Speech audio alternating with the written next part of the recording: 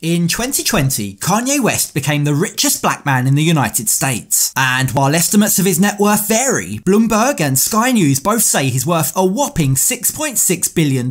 So how did he do it? How does someone go from being a college dropout living with his mum to one of the most recognisable names in the world? Well, we'll get to Kanye the business mogul in a second, but you can't talk about Kanye's businesses without first talking about his music. Now, funnily enough, his journey into the music industry came quite by chance. At the age of 12, Kanye made a video game. The main character was a giant penis with little feet and eyes, and after spending months learning computer programming, he realised his game was missing a backing soundtrack. That's when, out of necessity, he started teaching himself how to produce music. As for his rapping talents, well, by 13 years old he'd recorded his first track, called Green Eggs and Ham. His mum, who always encouraged his creativity and talent, helped him to pay for time in the studio. And when I say studio, I really mean nothing more than a rundown basement. But that was more than enough to get Kanye hooked. In fact, his dream to become a music artist meant that despite having a scholarship at an art academy, he soon dropped out. He also dropped out from Chicago State University, where his mother taught English. That's how, at the age of 20, Kanye found himself living with his mum, who he paid $200 a month to in rent. And to support himself, he worked both as a telemarketer and also as a Gap employee during the day. And of course, it was late at night that Kanye would stay up doing his music. As he himself recounts, quote, I would be up until 4 in the morning, focusing on my dream and praying for the day where I could just do that all the time. His prayers and sheer persistence soon paid off. His first moment of validation came when he sold a beat to Chicago rapper Gravity for $8,000. Then, just a couple of months later, he tasted fame again when he sold another beat to Jermaine Dupri, a mainstream rapper. But that modest success was soon eclipsed when, after sending out hundreds of demos to producers all over New York, his talent caught the attention of rap's most dominant figure, Jay-Z. Jay-Z invited him into the studio where Kanye provided some of the most iconic beats for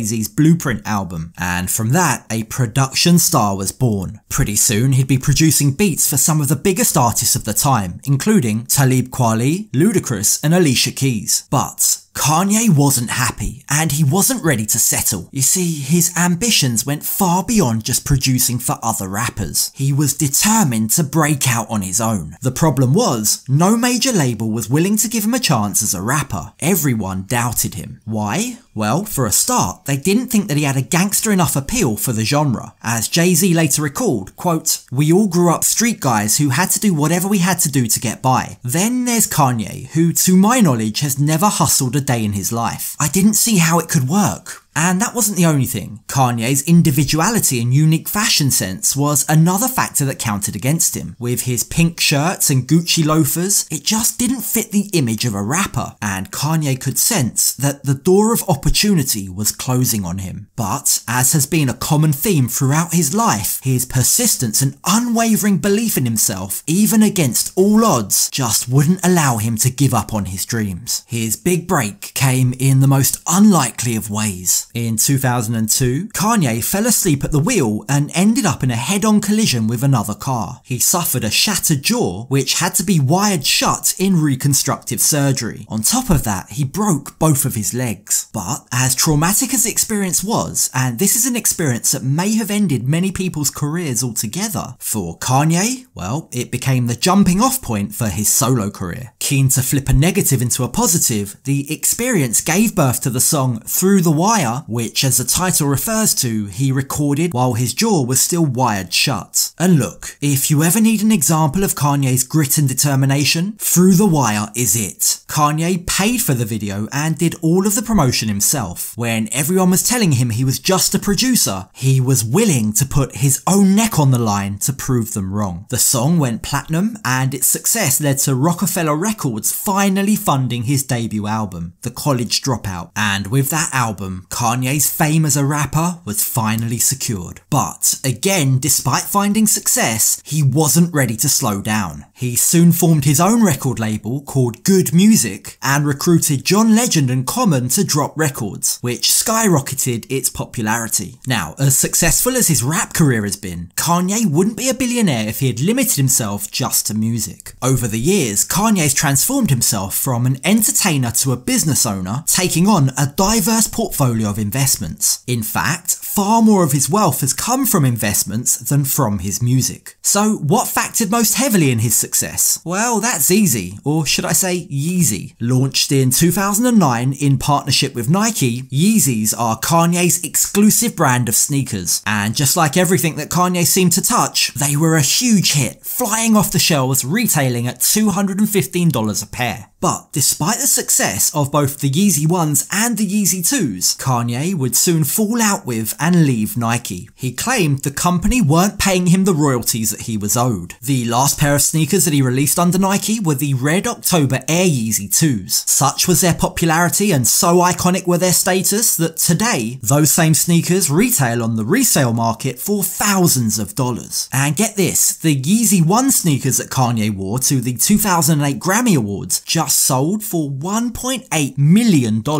Now, after his partnership with Nike fell apart, which at the time he described as being, quote, heartbreaking, Kanye pulled off a very bold move. He reached out to competitor Adidas, and in 2013 they formed a relationship that would prove to be phenomenal. The popularity of the Yeezys have grown to such an extent that by 2019 they generated an impressive $1.3 billion in annual revenue. That grew to $1.7 billion in 2020. The royalties in 2020 alone netted Kanye about $191 million, which gives us an insight into why he fought so hard with Nike. But look, as iconic as Kanye's Yeezys are, that's not even his most lucrative deal. The highest earning deal he's signed so far? Well, that's come from the company he used to work for as a college dropout, Gap. The Yeezy Gap Balenciaga deal, valued at at least $970 million according to Bloomberg, is apparently Gap's way of trying to become more relevant among young millennials, a market share that's declined significantly over the years. The partnership is a team effort between Kanye and luxury designer Demna Gvasalia, and their inspiration is to produce a clothing line that's urban but minimalist. At price points ranging from $120